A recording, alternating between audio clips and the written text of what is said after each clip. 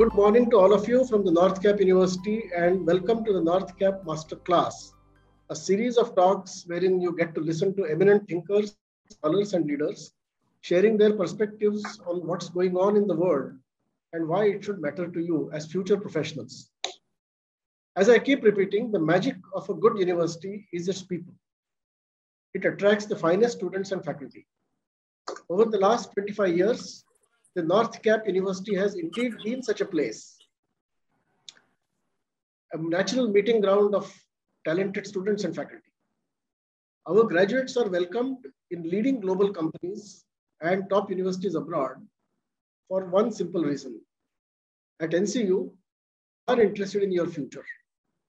Just look at all the specializations we offer across engineering, management, and law, from artificial intelligence to augmented or virtual reality to cybersecurity, cloud computing, business analytics, digital marketing, latest trends in law and jurisprudence. We cover it all. We take great pains to offer degrees that will matter to you. And that makes us a top university. The same intent also drives our recent collaboration with Arizona State University, the leading American university. Our partnership is exclusive, the first of its kind in India in terms of coverage, breadth, and depth, all designed to give you a degree that will remain your asset for, for your working life. Dear students, let me come to the topic of today. Modern society cannot exist without a strong foundation of justice and fairness. Without justice, there are no guarantees for your freedoms or your security. Just look at India's Western neighbors. Would you like to immigrate? In his influential work, A Theory of Justice, John Rawls tells us that justice and fairness have a strong moral imperative and establishes the basis for procedural justice as opposed to distributive justice. Many speakers in this masterclass series have warned about how the algorithms from big technology firms are strangling our privacy, reducing us to mere manipulated objects, and how unchecked their power is over all of us. Fairness requires checks and balances on any uncontrolled power, including this one. Is jurisprudence the answer? Our guest today will share her perspective on this grave situation. Let me introduce her. Honorable Justice, Honorable Chief Justice Gita Mittal is the former Chief Justice of the High Court of Jammu and Kashmir and Ladakh, the first woman judge to serve at that capacity. She has also served as the acting Chief Justice of the High Court of Delhi. Justice Mittal studied law at the Campus Law Center in Delhi, graduating with she has served on the governing boards of several educational institutions.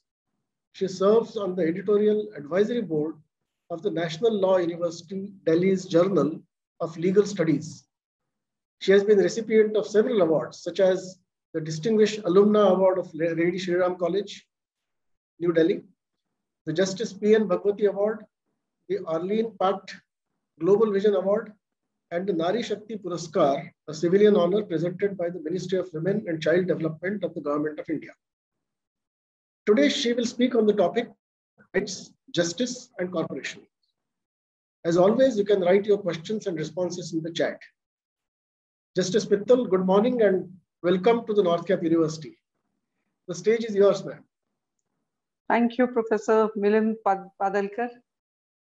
Uh, I am assuming that the faculty of the university is with us, members of students' unions who I think should be here, the proud students who are entering the precincts of the, this illustrious educational institutions, parents, grandparents of the students who may have joined this uh, program today, members of the staff, ladies and gentlemen, a very good morning to all of you.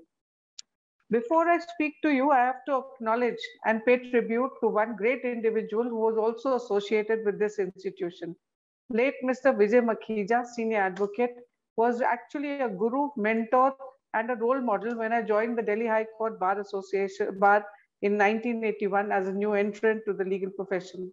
I understand that he was amongst the trustees, probably the founder trustees of this institution, and has contributed greatly to its development. I am very grateful to Akshay Makhija for giving me this opportunity to do to be attached to an institution which is associated with Dr. with Mr. Vijay Makhija's memory. And that primarily was the reason that I readily accepted the invitation at such short notice from his son to speak today. I will today try to share with all of you some of the values I've imbibed from my experience in the law, in law from great lawyers such as late Mr. Vijay Kishan Vijay Senior.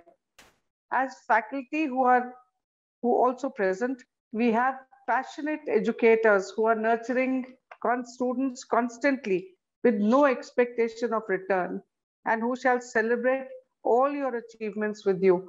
I hope that you will forget their selfless sharing of knowledge lifelong and you will return their caring with the respect which they deserve. It is always heartening to see parents, grandparents, relatives applauding the growth of the children and without whose support and love these as students stand enabled to join this campus. Please always remember the, their contribution in your lives.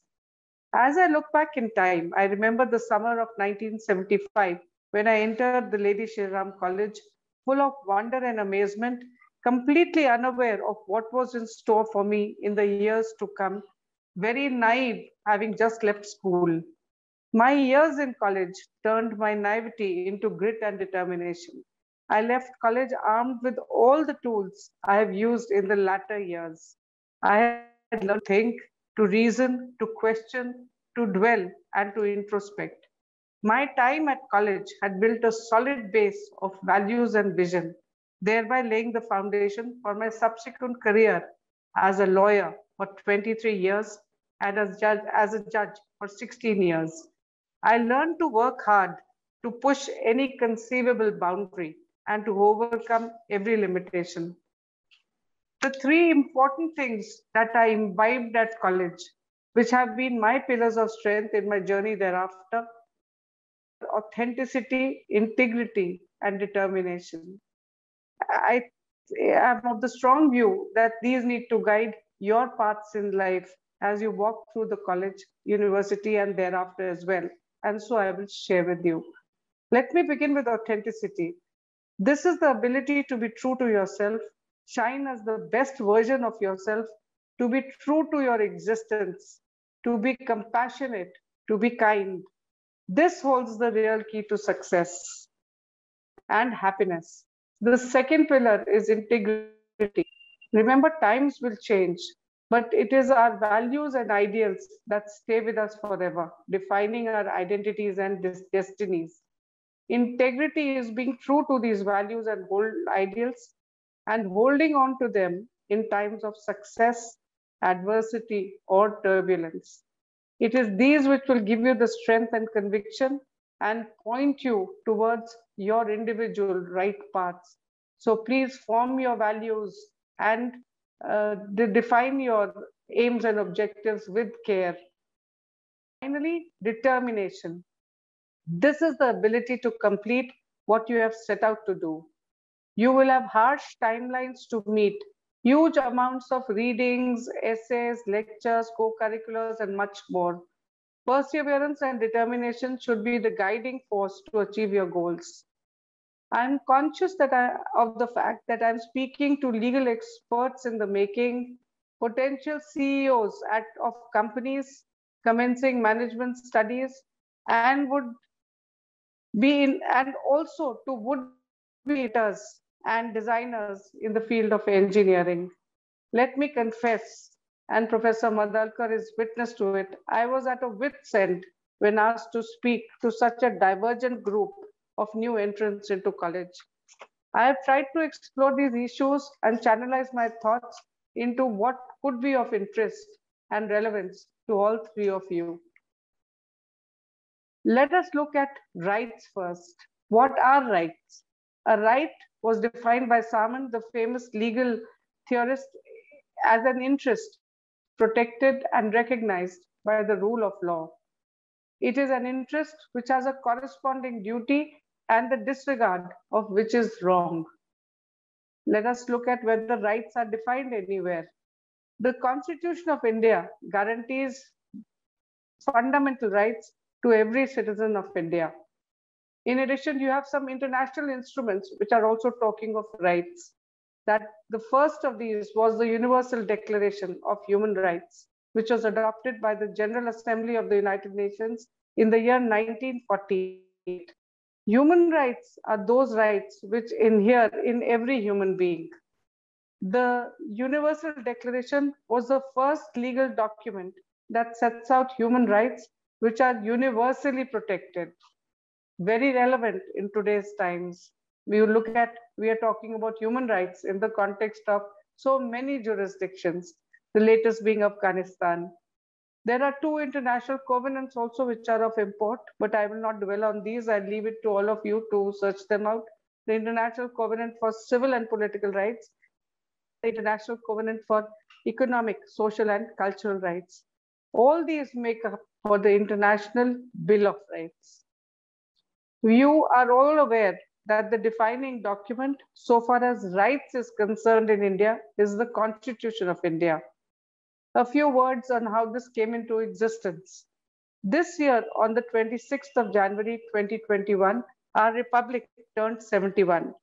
This governing charter was debated and drafted by 270 men and women who were members of the Constituent Assembly. These members were heterogeneous, diverse, and representative of the beautiful mosaic of culture, tradition, religion, which is our country. Our then leaders understood this reality of which each one of us should be proud. The visionary leaders who created the assembly strove to ensure that not only different agendas, but every shade of belief and opinion was adequately represented constitutional history is witness that despite some inevitable differences, the members of the Constituent Assembly worked closely with the of the majority partner party, which included Nehru, Patel, and Azad. The then majority leaders, with uncanny foresight, arranged for election of several non-party members to the Constituent Assembly as well to ensure diversity. These included Dr. B.R. Ambedkar, who was known for strong divergent views, Shri K. Munshi, who had left the majority group, and Shri S.P. Mukherjee, a Hindu Mahasabha leader. The Constituent Assembly also included members from various elect Indian provinces and those nominated by several princely states. It commenced its deliberations in 1946 and went through the was confronted with the turmoil and difficulties of the partition of the subcontinent in 47 i would request all of you to ask the question can we have such vision and democracy such inclusivity such participation in any decision making today the framers of the indian constitution had four objectives of ensuring justice, liberty, equality, and fraternity.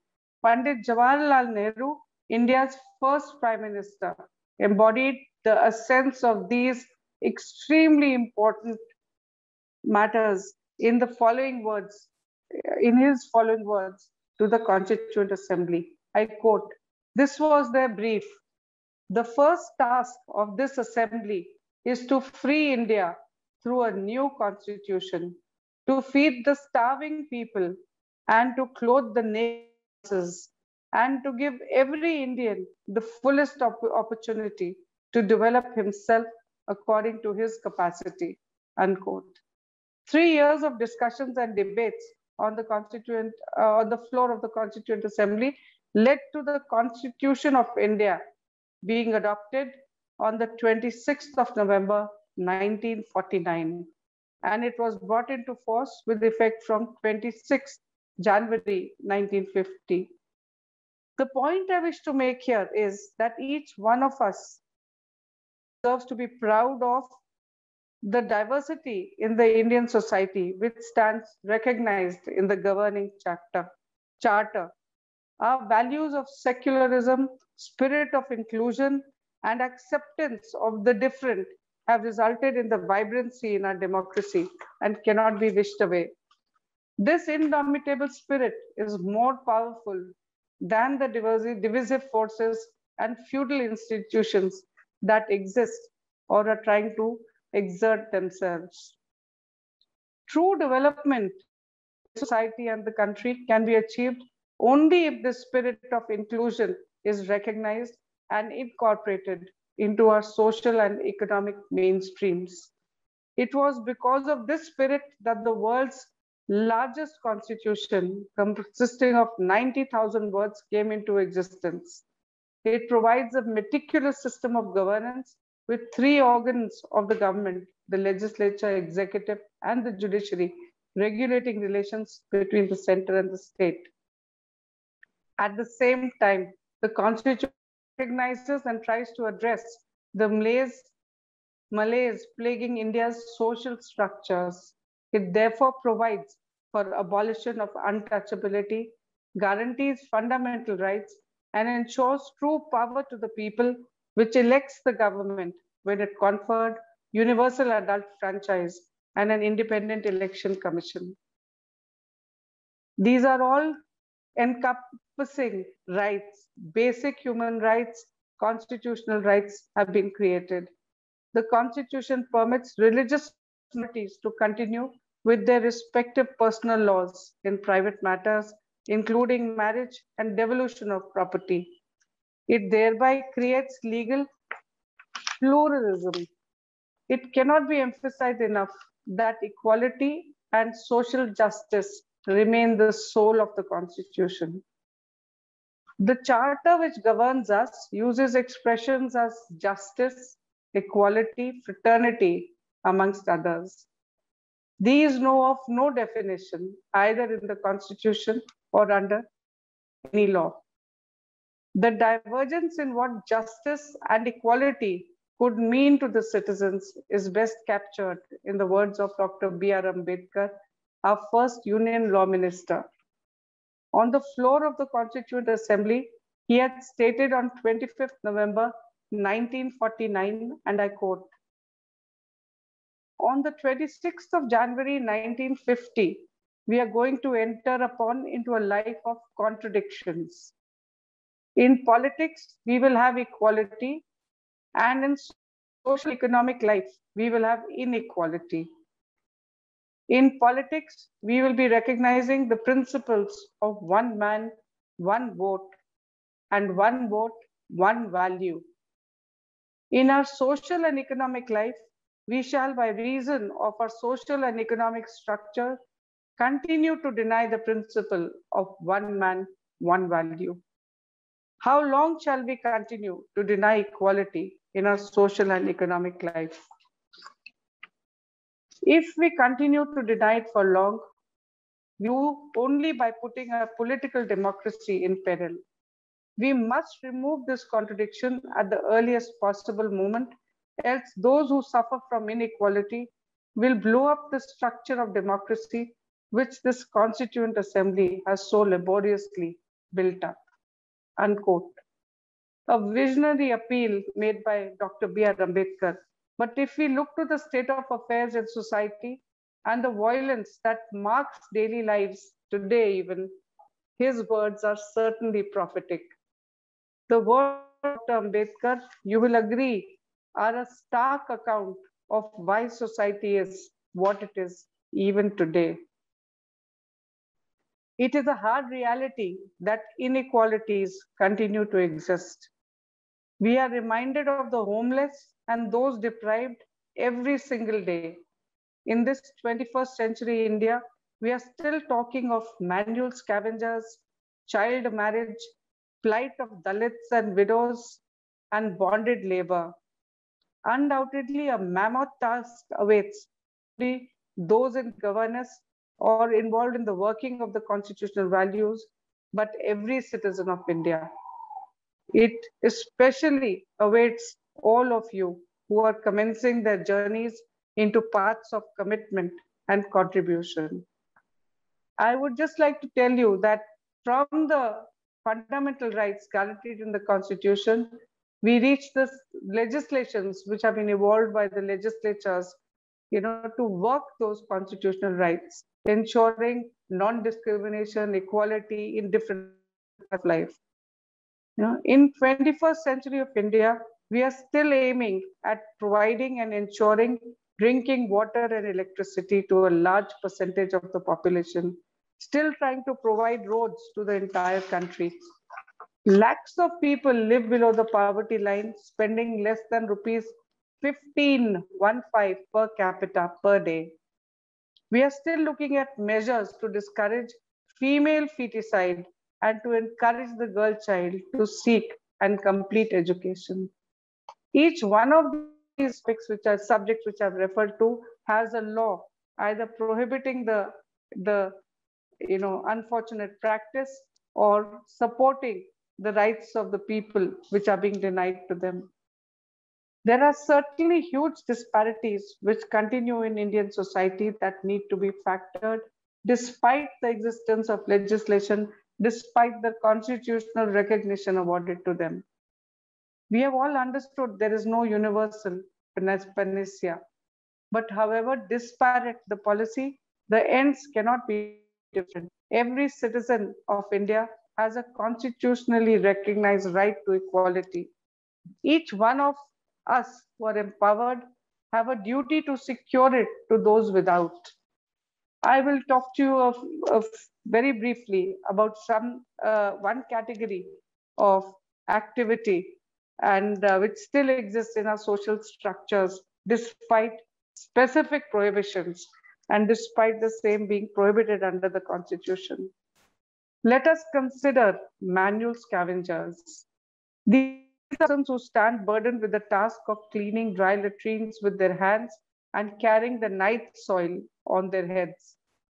Mulk Raj Anand, a celebrated Indian novelist born in 1905, had written a touching work titled The Untouchables. This book is an eloquent testimony on the fate of the manual scavenger. In the book, Mulk Raj Anand describes them as, I quote, creatures in the lowest depths of Indian society who were once men and women, rejected, who had no way to articulate their anguish against the oppressors. In the preface to this book, Martin Seymour wrote, and I quote, they think we are dirt because we clear their dirt, unquote. Despite manual scavenging having been statutorily outlawed in 1993, the practice of manual scavengers continues till this day. Look at the public authorities, your jal boards and your sewerage authorities and the municipal authorities who use their services to clean the sewers and drains of your localities and houses. Have you ever wondered how the toilets on the Indian railways work? The seriousness of this issue has, however, attained importance, and we saw this issue being highlighted by a Prime Minister from the ramparts of the Red Fort in the Independence Day speech a few years ago. As a result, you see the Indian Railways has been motivated for the fitting for the first time biodigesters on the trains. Towards this sensitization, you see the framing of the Swachh Bharat Abhiyan and the emphasis on toilets Uh, um, in every home. I hope that many of you will be leaders in the government and industry and will contribute to accelerate programs which would not only ensure recognition of rights of every person, irrespective of community and caste, but would enable meaningful exercise of these rights. That you will design and implement tools that uplift the dignity of every human beings.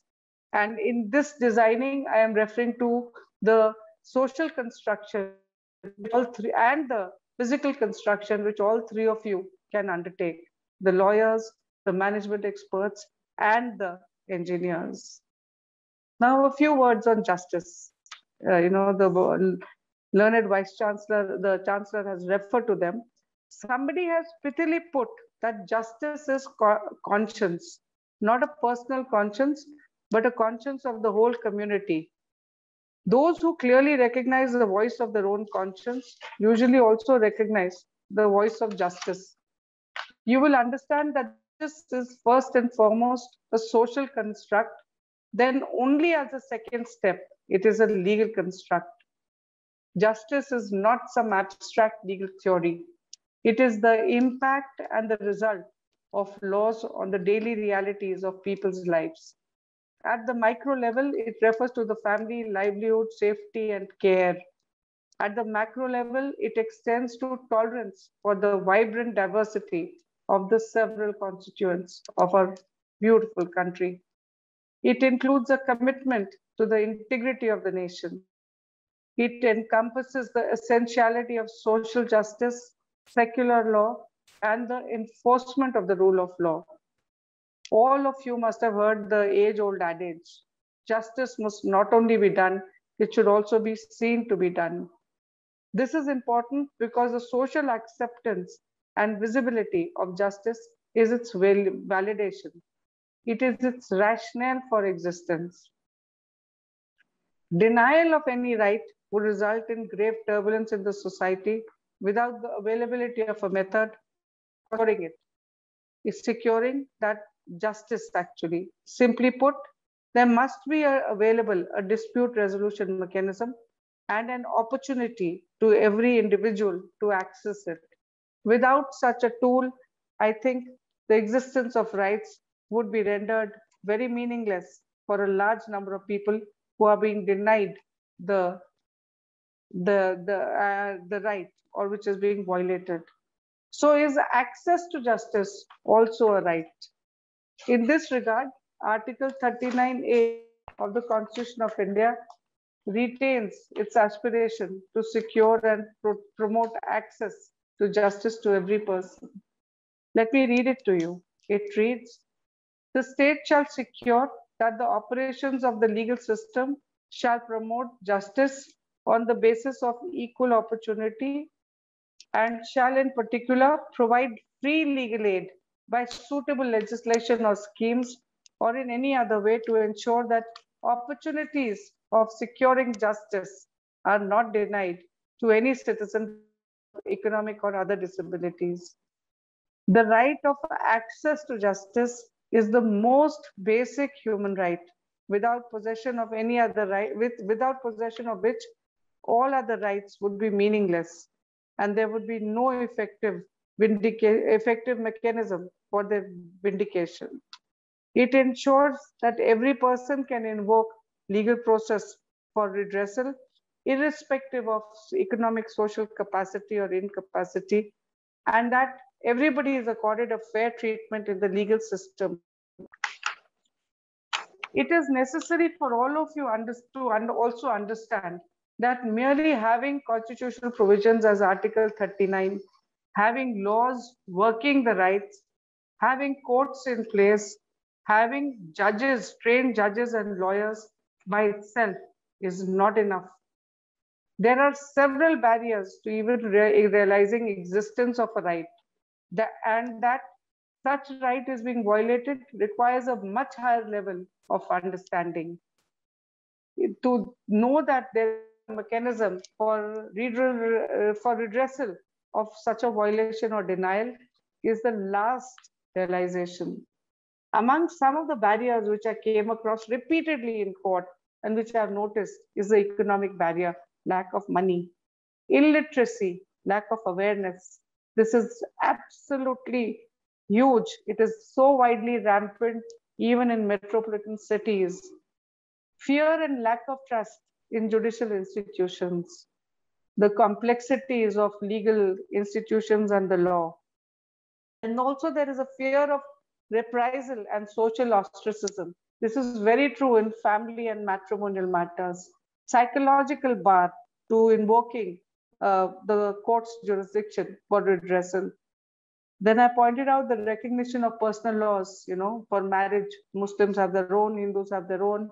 The lack of a uniform civil code is also discouraging. Areas and delays in the judicial system really, really dampens the enthusiasm to go to court. And then courts are the last resort. We'll look at family structures for help. You will look at social structures. You will go to your teacher. You will go to your superior courts are always the last resort. Therefore, and I've said it in a lot of the judgments which I penned. In the Indian context, especially, access to justice is not synonymous with access to courts.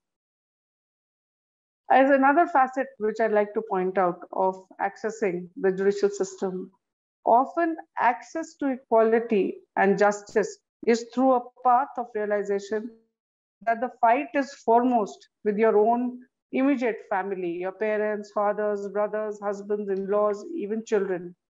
To illustrate this, I've often shared a story, and since I'm talking to students, I must share this story so that you contextualize it and are able to understand what this means. Consider a, this is hypothetical, you know, consider a young child named Seema. She was born as a second girl to her parents. Her arrival was resented she was not welcomed as a child. Was this fair? She no. Then came a brother after her. She grew up with the brother getting the only glass of milk in their house every morning and evening. She and her sister did not. She thought this was normal. Boys need and deserve milk. Girls did not. She did not know better. Seema and her sister went to a government school while the boy went to a private English medium school. Seema felt bad but she did not confront her parents. She was conscious of a sense of inequality and injustice. Please note this.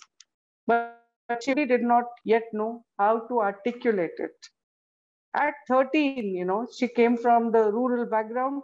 Her parents married her to a man who was a 24 years old only because she had attained adolescence.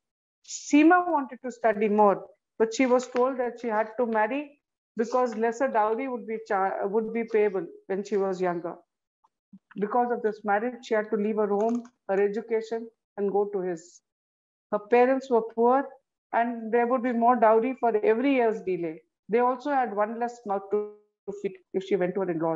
Seema felt very bad. She cried a lot, but she agreed to what her parents said.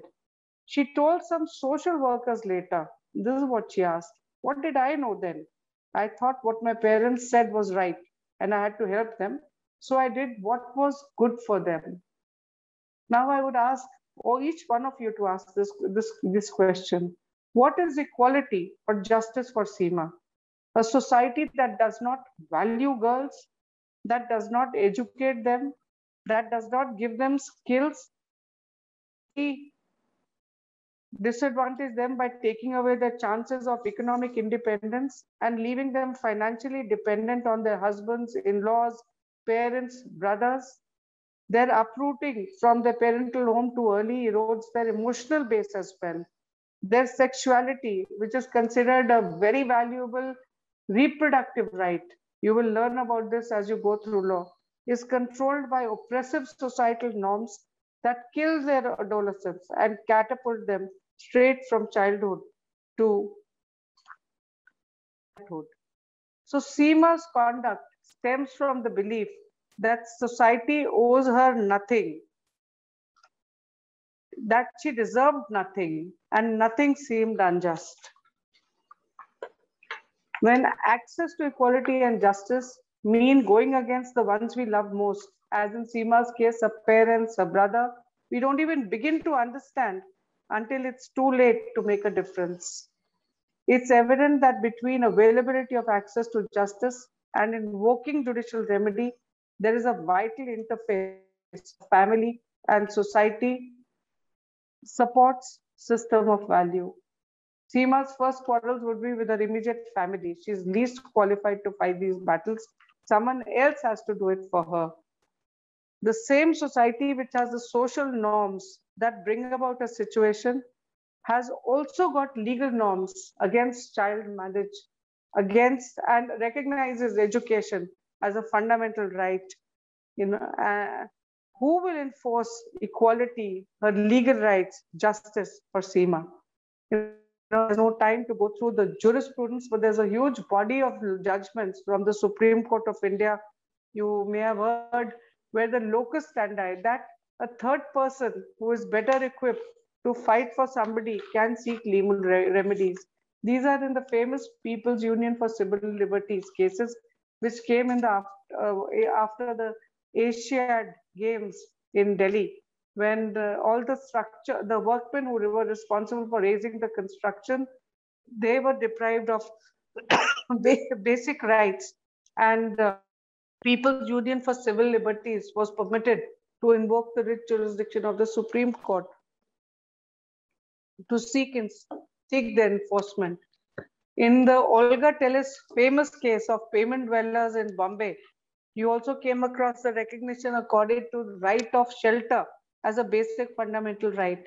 And uh, the court also uh, you know, uh, the right to livelihood and the use of every limb or faculty through which life has been recognized. The procedural barrier of locus standi, that locus standi means the person whose right is impacted has to approach the court for uh, redressal. You know, that was diluted and third parties having interest in, uh, in the welfare of the people were permitted to invoke the jurisdiction of the court. You know, there are there is a host of uh, jurisprudence on the expansion given to the right to life by the Supreme Court, right to health, right to clean air, right to you know safe and secure uh, uh, conditions in the society, etc., have all been and the Supreme Court has categorically said that right, life does not mean an animal-like existence. You know, have, these are all recognized are an expansion of what is the meaning accorded to the right to life guaranteed by Article 21 of the Constitution of India. And uh, these have all resulted in the legislature framing laws to support the, uh, the availability of the right and to put in systems in place where these rights could be worked to the, the citizens of India. So now those who are going to undertake courses in engineering and management must be wondering what is the purpose of this conversation that I'm having with you today. There is, and let me share with you how. You know, our society has ma made massive strides in terms of technological advances in the past 30 years. Entrepreneurship and industry are key factors in economic development. Economic growth through development of technology, proliferation of voluntary transactions in the marketplace, digitization, enactment of well-conceived legislations is a sine qua non to development. You are seeing how digitization has transformed the way we are doing business. Purchase of stocks, you know, cross-border transactions being seamlessly conducted. This very conversation which I am having with you with the help of video conferencing is giant steps into easing uh, you know communication artificial intelligence has made such huge in banking sector is booming only because of the online transactions which are perm permitted. Even the judiciary is the beneficiary of the uh, the, the the actually the internet in such a large way. It has enabled the judiciary to discharge its functions very effectively during the pandemic. Almost every court in the country has online court systems which had to be put in quickly as physical hearings in the court was impossible. Lawyers and parties from different towns and cities and villages have been able to make applications to court. But you cannot equate economic growth with economic development. Shri B.P. Mathur, a former deputy Controller and Auditor General of India has said, and I quote, GDP growth is a development in indicator or a measure of that GDP growth is a development indicator or a measure of economic well-being is a fallacy because what it does not measure is the sustainability of growth or the quality of life. Some of the most basic dimensions of human development, which are literacy level, life expectancy, purchasing power, value of labor for labor, women empowerment, climate change, freedom of the press, amongst others, also need to be given due consideration. So all of you must realize that economic development or industrial growth is inevitably tied to social, cultural, legal, and sustainable development on multiple fronts. It is necessary for young people like you who are tomorrow's leaders to be conscious of the ills that plague society. You must understand the impact of the discriminations which manual scavengers face, the problems which people like Seema face, the difficulties of because of unemployment, lack of education, caste-based discrimination, violence, gender discrimination, sexual violence, religion and religious and ideological extremism can impact your institutions which you will work with or will create. You must apply yourselves to the huge digital divide and not stop at being excited by what digital India has been able to achieve. You must be aware of the contradictions in availability of the internet to large groups of people. You must be cognizant of the lakhs of children who cannot afford or do not have the instruments to join their e-classes. You know, what can a family of four children whose father is a guard in somebody's house do when the family has only one phone and four children are going to different classes, have to attend classes? You must have read of brilliant children from eminent colleges who committed suicide because they did not have tablets or laptops and were unable left behind in the classes, even though they had been toppers in the past. So please work on digital inclusion. This goes for all of you. You know, I was in Jammu and Kashmir when the lockdowns hit us, and we were on, for security reasons, had access only to T2G. No one, I think, can have a better idea of what digital exclusion can mean to a society. You know, people were left out of education, children were left out of the education fold, they were deprived of, you know, the, the uh, medical care access which was being given, the kind of consultations which were available to all of you in metropolitans were not available to the people in places without the, uh, the right bandwidth. So given the contradictions in Indian society, stereotypes have been broken. But by and large, most of these stereotypes still persist. We are still no, talking of millions of people living below the poverty line, unable to sustain equitable living conditions and remain socially excluded. They are denied of every single right that you and I take for granted. We must realize that business and corporate sector plays a crucial role in deciding government policies. It is the pioneer in leading the Indian economy to its global image. Where India was placed earlier was noted by Rabindranath Tagore, who had said, and I quote, we have for over a century been dragged by the prosperous West behind its chariot, choked by the dust deafened by the noise, humbled by our own helplessness, and overwhelmed by the speed. We agree to acknowledge that this chariot drive was progress, and the progress was civilization. If we ever venture to ask, progress towards what? And progress for whom? It was considered to be peculiarly and ridiculously oriental to entertain such ideas about the absoluteness of progress. Of late, a voice has come to us to take count not only of the scientific perfection of the chariot, but the depth of the ditches lying on its path. Quote close. I ask you, has the position since when Tagore wrote the above changed? On many, many counts, you will definitely immediately say yes, but on even more, you will say no.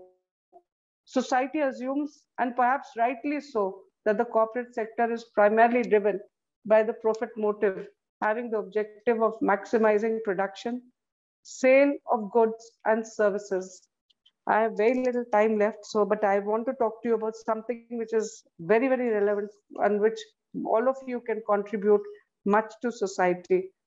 You're aware that profit motives have caused capital exporting countries to reach out to those parts of the world where labor and other resources are cheap. Unfortunately, this expansion has exposed tremendous shortfalls in the policy domain. Non-compliance with ethical corporate standards by large multinational corporations from developed countries is increasingly being opposed in the developing world. The aspirations of local populations may not necessarily be aligned with the profit motives of the corporations. You know, you uh, this is where corporate social responsibility has a great role to play. When I'm talking of practices which are unethical, I refer to practices as underpaying the labor. You know, cheap labor is available. You will not comply with the statutory requirement of minimum wages or not comply with the environmental standards. You know, so traditionally corporate social responsibility in India has been about practices that nourish people, community, and cultural values. Corporations follow the give something back to the society approach, while the left hand does not know what the right is doing. Therefore, initiatives in this area lack transparency, lack objectivity, accountability, and there is no specific standards, you know. So where do inequalities in society touch corporations? What are the standards which you your corporations must maintain to facilitate communities towards egalitarian levels? Areas where I've noticed inequalities and even discrimination in corporations include unfair labor practice, employee policies which are unfair, lack of transparency, accountability, lack of sensitization about environmental concerns, and the impact of the environment on industrial activity. There, is, there are also huge inequalities in corporate appointments and promotions, lack of institutional dispute redressal mechanisms, and there is an inherent lack of confidence between employers and employees, which creates situations of mistrust and conflict. Of course, all this is aided and abetted by an inefficient, inept, corrupt, or non-existent statutory regulatory mechanism.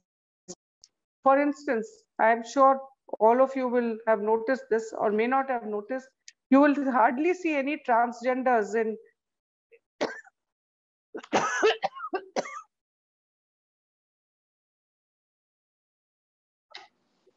any institution or corporation. Sensitivity in ensuring infrastructure adaptations for the disabled is a very recent phenomena, even though law has existed for a long time. You will also sense and come across the reluctance to a point a from women to high positions. We are all yet to ensure safe and comfortable workspaces. Small measures as precious flexi working hours need gigantic pushes.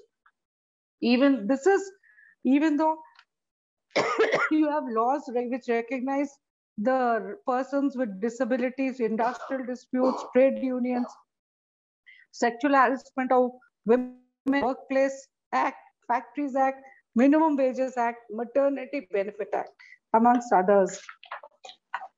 You know, there is extensive jurisprudence on each of these judgments or, or, or, each of these legislations, but uh, there is, it would take a whole, whole day to discuss that for you. But so I only want to point out to you, all of you, that you may be legal experts of repute. You may be management experts. You may be engineers of repute. But you must ensure that you live by the adage, charity begins at home. If you ensure fair practices and compliances with the law in your own institution, you would have ensured equality and all rights, not only to your workplace, but also to society the community as well as the country. So this was the internal dimension of corporate social responsibility. That you, CSR doesn't mean only giving away a sum of money to an NGO and letting it use the same for some social purpose. But please look within the corporation. At the same time, to talk of external corporations, uh, CSR, you're all aware of the fact that I think Indian corporations are leading the world in this. In 2007, Infosys had conducted a carbon footprint analysis and found that air conditioning was re really contributing to the carbon footprint. In October 2020, it was able to announce that it was carbon neutral. You're also aware of the effort which have received global recognition and brought the Nobel Prize for the CC team. There are several other industries which are looking at waste management, use of non-toxic material, recycling, etc. Of course, there are several NGOs uh, which have also been started by several corporate houses which are renowned for the work they have done. At the other end of the stick, you have the extreme example of the irresponsibility shown by the Union Carbide Corporation in the Bhopal gas leak tragedy. Thousands and thousands and thousands of people died in this man in this corporate created disaster of gigantic proportions. You will be shocked to know, my young friends, that the nuclear waste which was generated by Union Carbide is still polluting the water of Bhopal. It is sitting in ponds in Bhopal. Therefore, all of you as leaders in your field must protect rights, adhere, Uh, uh, ensure adherence to the requirement of law, and develop a culture within your own respective organizations for undertaking internal audits and regulations. You must evaluate the, the contribution of your organization in improving the standard of life of your employees, ensuring a level playing field to every person while communicating at the same time to society. You know, now you we must also have a professional organization for uh, managing CSR you know you will also you know that the law has recognized section 135 of the companies act makes it mandatory to spend 2% of the average net profits for the past three years on csr so we also must also realize that we must get to our heads together and lay down standards and guidelines on csr and make them enforceable a few words to the young women in the audience. You will hear about it and be confronted with the proverbial glass ceiling.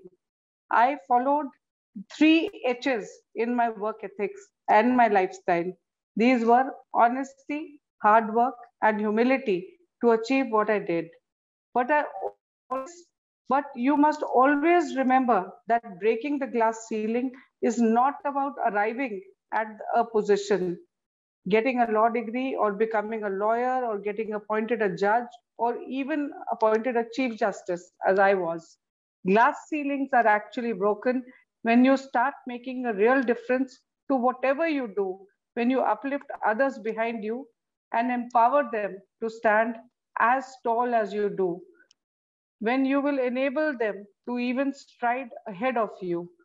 I hope each one of you will and shine in your chosen field and uplift many others to also do so. This is an apt moment to share a few words by late Professor John Ruggie of the Harvard Kennedy School, who passed away last week. Professor Ruggie is remembered for developing the UN guiding principles on business and human rights, whose core elements have been adopted by many corporations and institutions.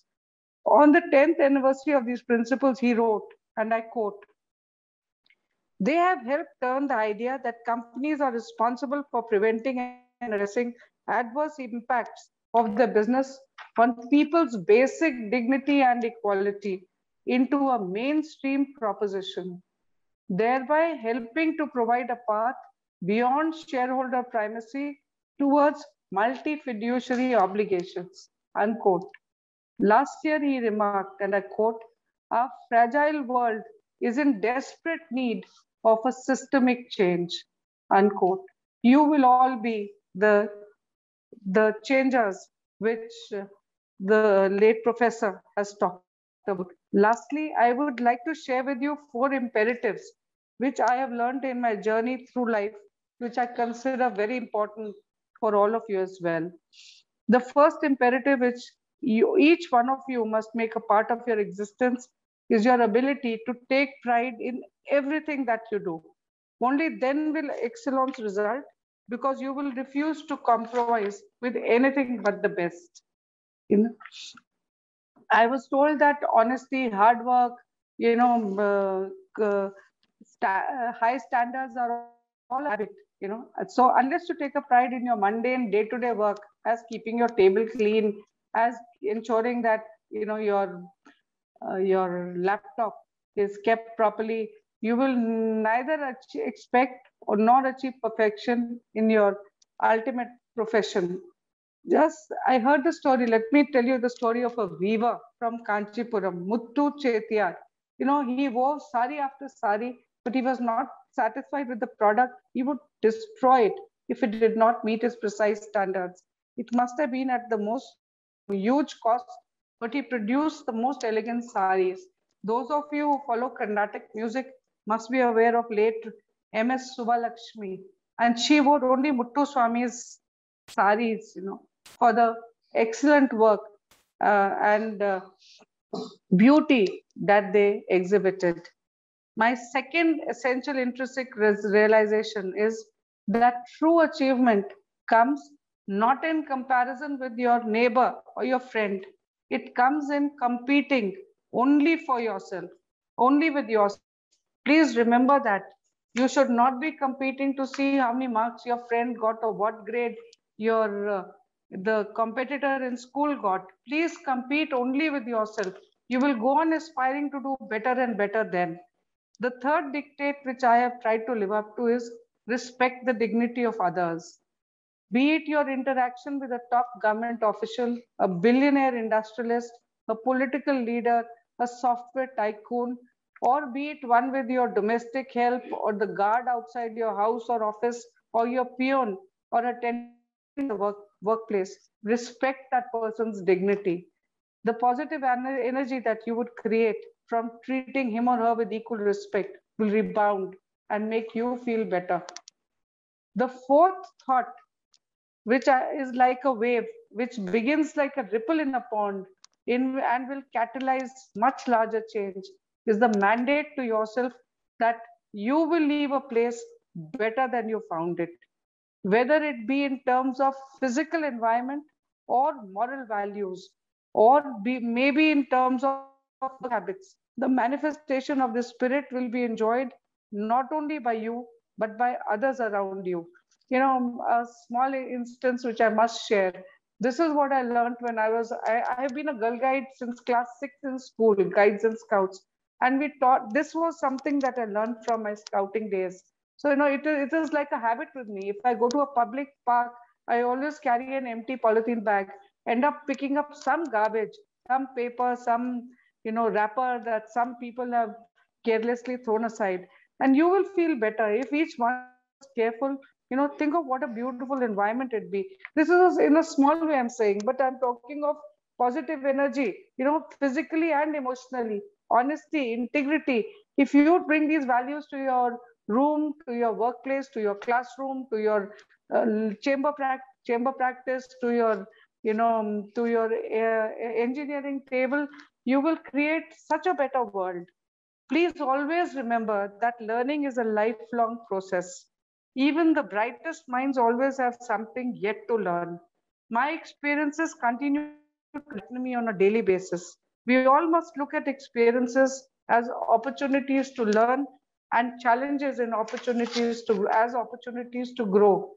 With the backing of a holistic value based education sensitivity towards the environment commitment to the society and a determination to excel the uh, sky is the absolute limit for you in closing i once again offer my sincere best wishes and congratulations to all of you in achieving this yet another milestone in your lives in finishing school entering university.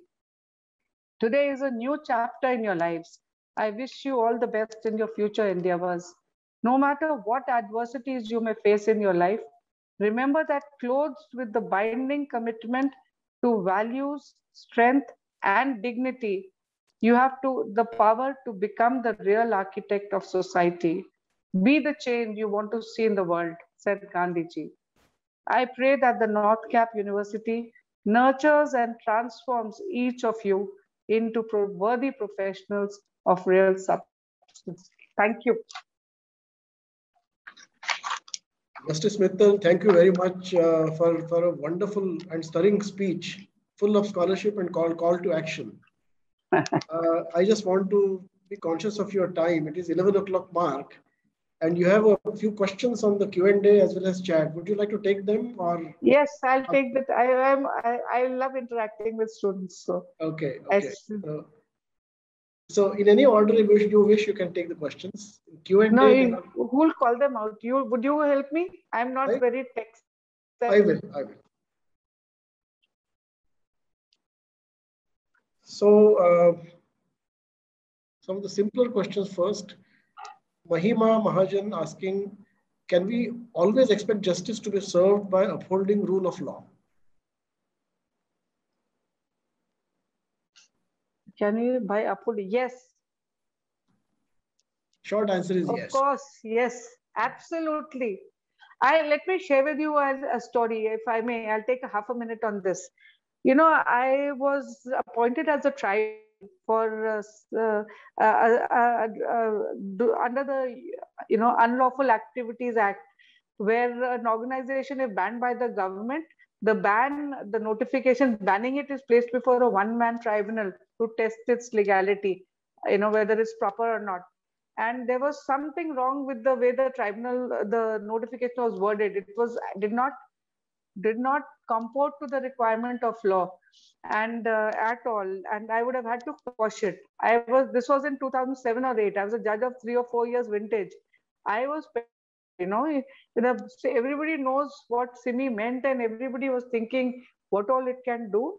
And um, it was a very tough call but uh, uh, you know uh, I, I the lesson which came to me was that i have to follow the law you know and you know you follow the law you you're not weighed down or bogged down by the consideration or the the the what the organization before is the person before is what the media is saying about it what people generally are talking about it. You just enforce the law.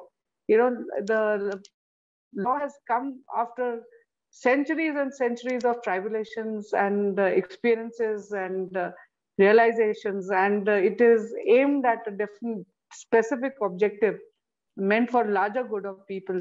So justice has to result. You know, when a, in, whenever you, you decide a case, the party which wins says, oh, justice was done. And the party which doesn't win says injustice has been done. So this is what I meant by saying that justice is not defined, you know. So it what it means to you will depend on which way, what is your perspective of justice. But please follow, come what may. Follow building bylaws you know even if you have to leave six feet in front or vacant as a setback it is intended for your neighbor's light and ventilation. If your neighbor did not respect you and built did not leave the setback think of where you would be. So follow the law you know even if it means a sacrifice Himanshu Rathi has a question which is longish, so I'm going to interpret it. Does the role of judiciary uh, de depend on who the litigant is, given that the public interest litigation has a low admiss admissibility rate and the debate of rights versus development dominates. I don't agree at all. Please read my judgments. You know, it, it, this has this has really um, you know evolved over the uh, as a perception and of different courts and different judges. But public interest litigation is the most valuable tool that we have developed in our country and it has enabled a lot of rights and a lot of enforcement you know which is even more difficult to come the three cases that i mentioned to you the people's union for civil liberties etc are very very vital and critical in this aspect you i would recommend that you read the jurisprudence of the supreme court in the 1980s 70s and 80s justice krishna iyer and justice pn bhagwati's judgments and you will really feel good. Right. Another question, Dr. Pallavi Bajpai wanting to know what is your view on the Rajasthan amendment bill towards child marriage registration? It's in conflict with the Child Marriage Prohibition Act. Seems to be. I haven't examined the bill I will read it and we can have a private discussion on this. You know, it won't be fair for me as in my position as a former judge to be commenting in the air, you know, without having specifically examined the law. But from the newspaper reports, prima facie, it appears to be in, what's the point in registering a marriage that is illegal? For what purpose are you registering it? Himangi Mishra wants to know how do you deal with cases where there is gruesome uh, crime against women and children? And how do you let cases like this not affect your mental peace?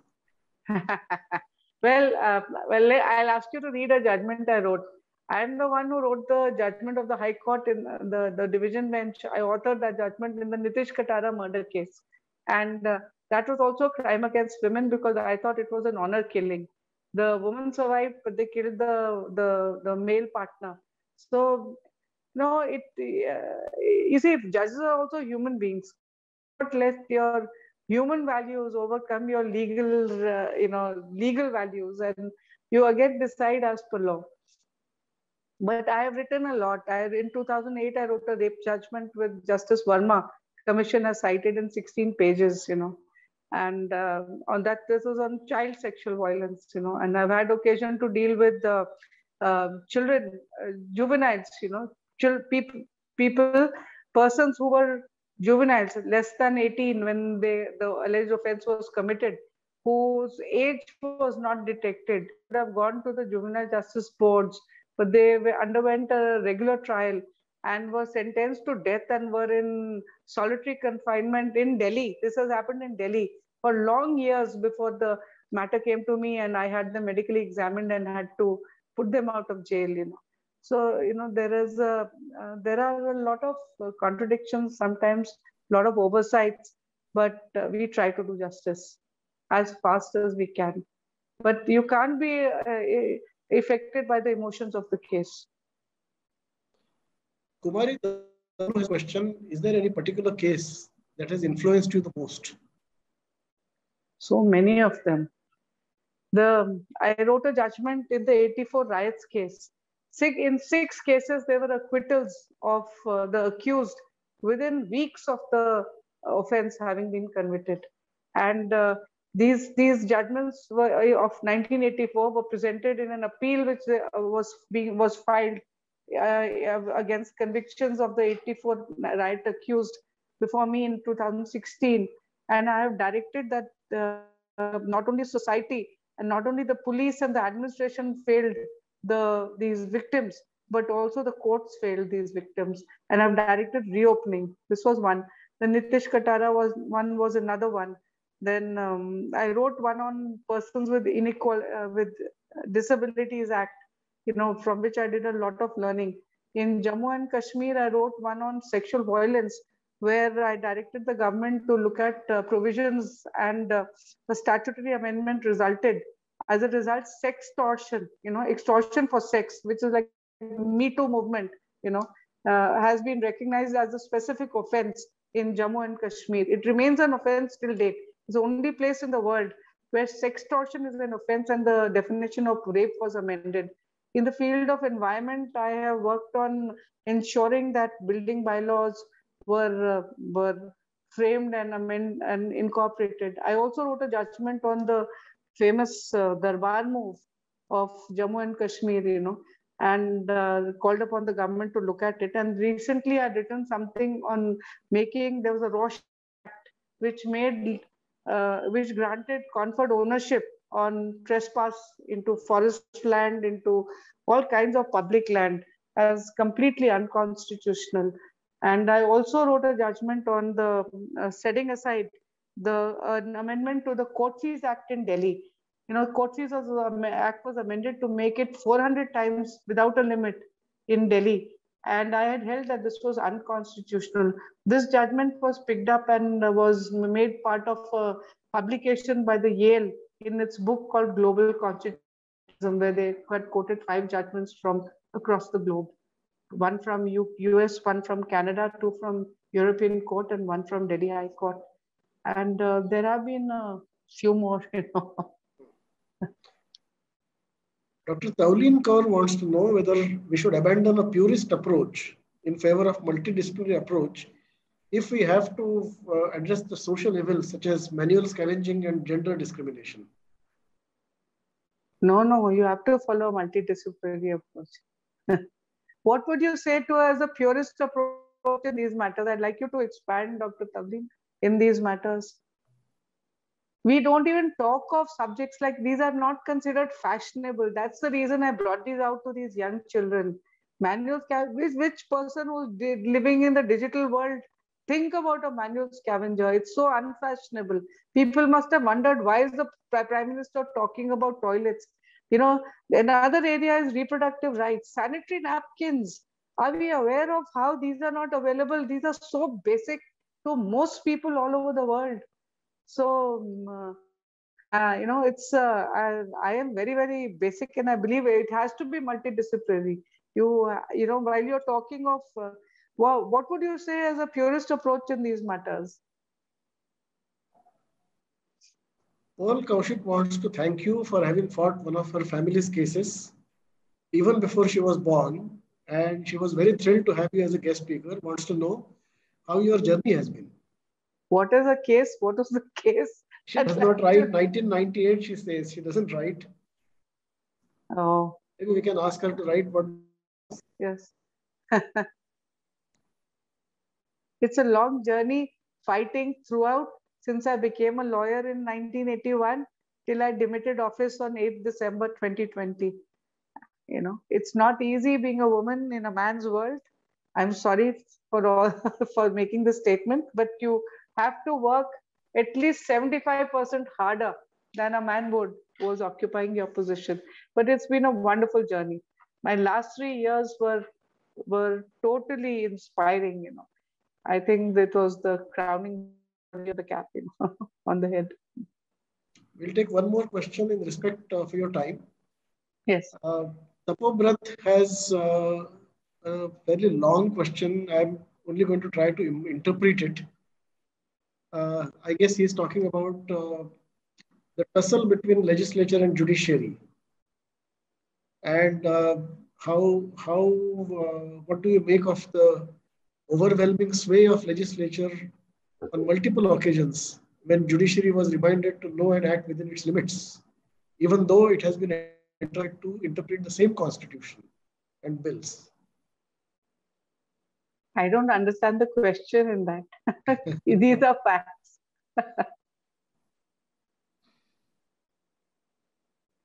this tussle has to be there this is you know the we are we are so fortunate in the supreme court having been conferred the power of judicial review constitutional courts high courts have an even wider power of judicial review under article 226 of the constitution of india than the supreme court does under article 32 of the constitution the supreme court can only look into matters of fundamental rights whereas the high court has such tremendously wide powers that's what our founding fathers gave us you know so the tussle will remain, you know. Who likes to be told they are wrong?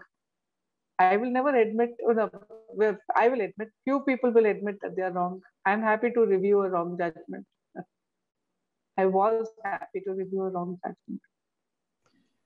Um, it's, it's been a wonderful 75 minutes with you. Okay. Uh, thank you for graciously giving us 15 more minutes. Right. You're very welcome. I, I'm personally not trained as a lawyer, but I found myself to be a student listening to you in rapt attention. So uh, I think I speak on behalf of the entire NorthCap community that we found your speech absolutely wonderful. And uh, thank you. Thank you very much for that. And uh, it will be our honor to host you on the campus when this COVID shadow passes over. Definitely. I'm always, I am very fond of children and very fond of universities. I come from a family of academicians. So give me, thank you for giving me this opportunity, you know. And good luck to all of you, the management, the faculty, as well as the students. God bless. Thank you. Thank you very much. Thank you. Thank you. Students, with that, we will end this meeting.